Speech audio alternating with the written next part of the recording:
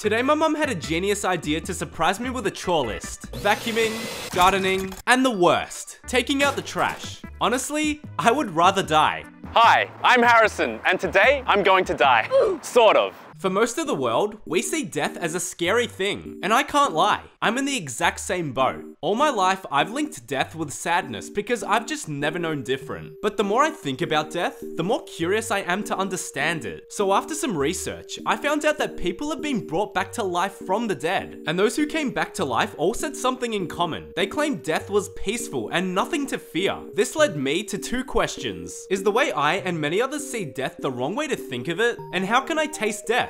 without actually dying permanently. After traveling the world and the seven seas, I had made a groundbreaking discovery. I found the location of a death simulator. The location? Conveniently, five minutes up the road. So that's where I needed to go. I left a letter for my family in case I never made it back, and now the journey begins.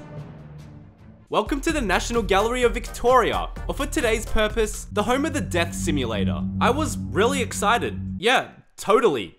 I can't wait to die. To be honest, it looked more like a Grey's Anatomy set. I mean, it does look like a place where people would die. Great observation by me right there. And then I was accompanied by Sophie, who was the CEO, or should I say the Chief Execution Officer of this exhibit at the gallery. So Sophie, do you mind explaining what exactly is going to happen during this whole simulation? Absolutely. We're going to hook you up here to the bio bed and a virtual reality headset and a heart rate monitor. Okay. It's going to look at a de-escalation of life and what happens after. Sophie also said most people don't even last the full 10 minutes, which kinda got me panicking. But the most important question of all, who do you think I'm going to see in the afterlife? Michael Jackson? Abraham Lincoln? Or my third grade pet turtle, Oogway? Put your vote in the comments. As I became familiar with it all, I stared nervously at the heart rate monitor and the VR headset. But I can't back away now. Anything for a YouTube video. I gave one last smile, but in reality, I just felt like this guy. Ah! Will I actually last the entire 10 minute simulation? Or will I just cry like a baby and demand them to end it? I guess we'll find out. So the first phase of the simulation is me in a hospital bed surrounded by surgeons desperately trying to bring me back to life, which fails. This is where the outer body experience starts. Now I'm dead. I can't move. I can't talk. And yeah, that's me floating, having the time of my life.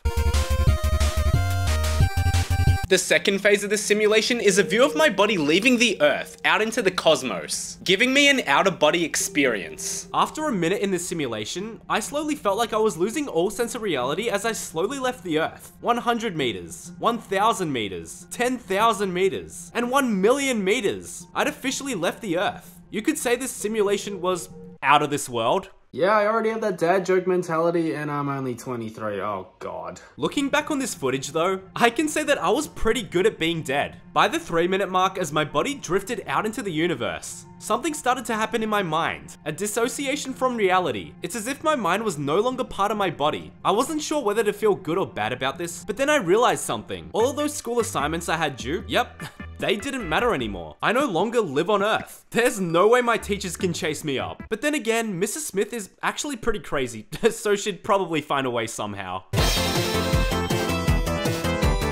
The third phase of the simulation continues to float your body out into the universe, however at a much faster pace. Five minutes in, if there was any way to explain it, it felt like jelly, or jello for you Americans. That's me 100,000 million meters in the air. Oh wait, uh, there's no air in space, right? Uh, what do they even call it? Like a, a void, a vacuum? Ah, why does it even matter? I'm dead. You thought 100,000 million meters was much? That's me 10 million million meters away from you all. By the 6 minute mark, something interesting started happening to my mind. As I stared at myself being pulled further and further away, I felt completely at peace. My mind wasn't cluttered, I just had thoughts and my thoughts only. There was nothing around to distract me, and not even Sophie. That's when I started thinking of my grandpa who passed away. But more importantly, my third grade turtle Oogway. I'm just joking, I, I miss you grandpa. As sad as I was to see him leave the earth, I just had an overwhelming sense that he was truly at peace and was no longer suffering. I knew that he was okay. I started crying in the VR headset a little bit. yeah, and there's me trying to be discreet wiping away tears. Yeah, that's a little embarrassing.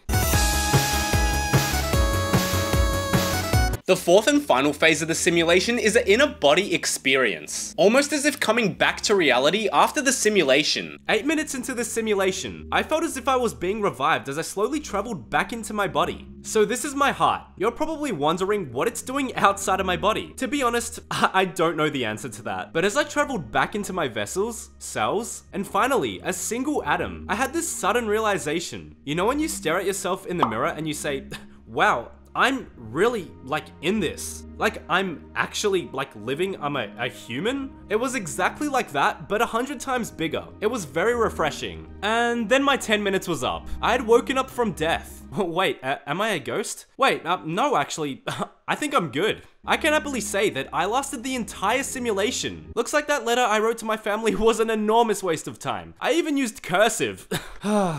Only things I would do. There was only one thing that was on my mind after this, and that was a completely new perspective of death. A lot of us fear death, but based off of that, if that is how it really is, that is one of the most peaceful experiences I think I've ever experienced in my life. Death is nothing to fear. The one question this experience left me with is that what really even is life? We're just a bunch of atoms living in some random part of the universe being somehow lucky enough to have a human experience, a shot at life. But what is the meaning of this? Of life? Personally, I think there's no meaning at all, but that's what makes it so beautiful, because you get to create your own meaning, unique from anyone else on this planet. We've only got one go, so make sure you live it to the fullest. Who cares if someone doesn't like what you want to do or laughs at you for it? Because one day, we're all going to die. And the moment you're on your deathbed, you're not going to be thinking about all the people who doubted you, but instead, all the beautiful memories you made along the way. But I'd still rather die than take out the trash.